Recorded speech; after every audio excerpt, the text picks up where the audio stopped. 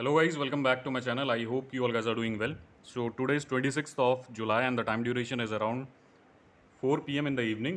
तो अभी इस वीडियो को बनाने का इंटायर मोटो ये है कि जैसे अगर मैं आपको अपॉइंटमेंट की इन्फॉर्मेशन वगैरह प्रोवाइड करता हूँ तो मैंने एजेंट वगैरह के नंबर भी आप लोगों को शेयर कर रहे हैं तो इसमें नंबर शेयर करने से पहले मैं आप सब लोगों को कहता हूँ कि जो भी एजेंट है इसके बारे में हर चीज़ आप चेक कर लें because I am not responsible for each and everything payment भी करते हो तो आप एक एकदम में वन गो में सारा पेमेंट ना करें बिकॉज़ कभी ऐसा होता है कि बहुत सारे एजेंट स्कैम भी कर देते हैं। This is happening from a very long time ऐसा भी होता है कि एक एजेंट आपको अपॉइंटमेंट प्रोवाइड कर रहा तो फिर उसके बाद जो दूसरा कैंडिडेट है, उसको प्रोवाइड नहीं करता। ऐसा होता है पूरा ये।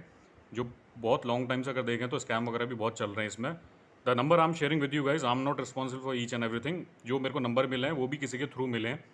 जैसे अपॉइंटमेंट किसी ने अपना ईमेल के थ्रू नंबर वगैरह शेयर कर दिया तो मैं आपको नंबर शेयर करने से पहले हर लोगों को ये कहता हूँ कि check each and everything before making the payment I am not responsible for each and everything अगर आप अपॉइंटमेंट बुक करते हैं तो मेरे को कुछ कट नहीं मिल रहा है because I am not getting anything मैं, मैंने आपको दस बार पहले भी बता रखा है।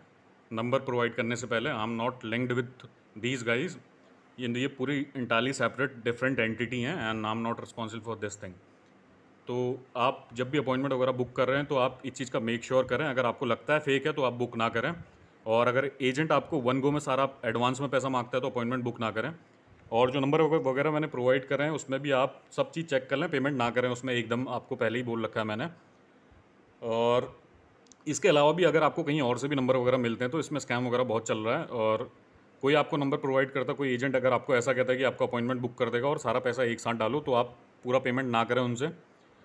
सबसे पहले तो आप ईमेल आईडी से उसका वेरिफिकेशन करा लें, उससे बोलें कि अपनी पहले अपॉइंटमेंट बुक करके दे। अपॉइंटमेंट अगर आपको बुक करके देता है फिर उसके बाद जो नेक्स्ट स्टेप ये रहता है कि उससे बोलें कि आपकी जो यूज़र आईडी पासवर्ड है, वो आपको प्रोवाइड करें। अगर आपको प्रोवाइड करेगा तो उससे आप लॉगिन करके चेक कर सकते हैं। ये एक सिंपल ऑफ़ मेथड रहता है।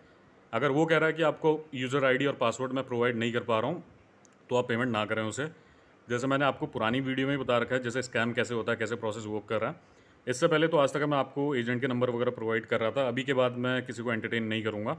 I will not provide the information regarding any agent क्योंकि मेरा उसमें कुछ कट नहीं है और अगर कल के दिन किसी को स्कैम वगैरह भी होता है तो मेरा इसमें कोई रोल रहता नहीं है because I am not getting any cut और वो पैसा मेरे पे आ भी नहीं रहा है और मैं कुछ ऐसा पैसा कमा भी नहीं रहा हूँ। अदरवाइज़ ऐसा ही करना होता तो मैं अपने थ्रू आपका अपॉइंटमेंट बुक करा रहा होता।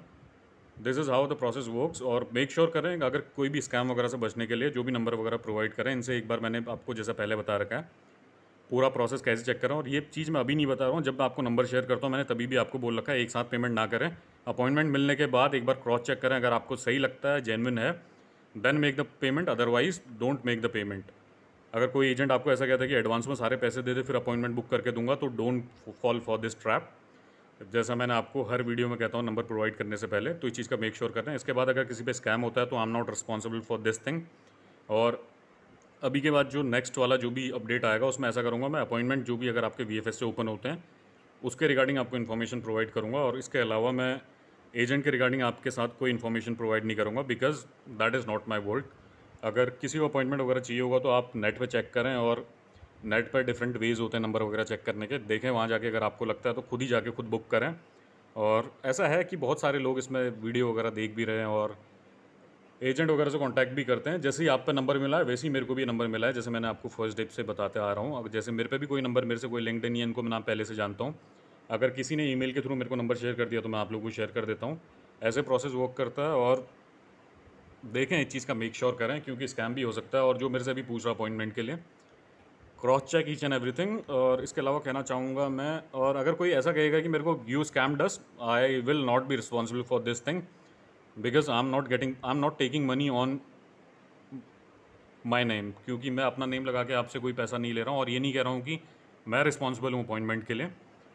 क्योंकि जैसे आप ये प्रोसेस फॉलो कर रहे हैं, जैसे मैं आपको अपडेट प्रोवाइड करता हूँ, वैसे ही अपडेट आज तक प्रोवाइड कर रहा था। अभी के बाद मैं एजेंट की इन्फॉर्मेशन वगैरह के लिए किसी को एंटरटेन नहीं करूँगा।